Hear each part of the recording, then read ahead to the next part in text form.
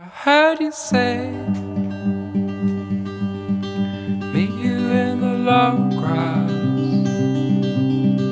Something good at long last. When we're away,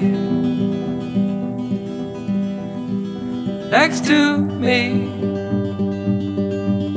I found you This is the astrological update for Pisces for the week starting the 2nd of May. Now, this week you are feeling jolly and powerful and strong, and you're able to communicate in a new way. Firstly, we have Jupiter, uh, the Sun trining Jupiter, the planet of good fortune. Now, this gives everybody an optimistic, sort of hopeful energy, and for you, you're feeling that possibly in some of your personal relationships, things are shifting and you know how to communicate in a different way.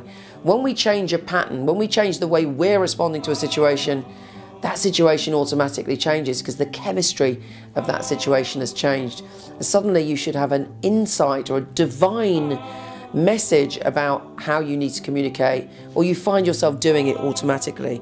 And we also have a new super moon in that energy.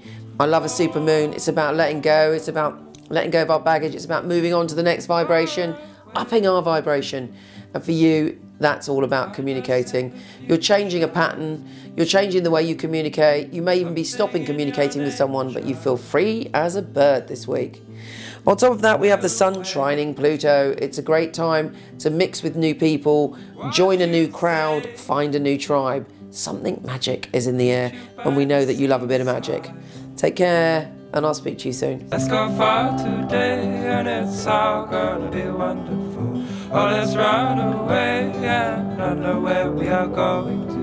Let's If you like this, please come to my website where there's thousands of articles from psychic to soulmate and lots of free tarot readings, www.micheleknight.com. And for all the written astrology of this month, week, or even day, go to horoscope.co.uk. Take care. Oh,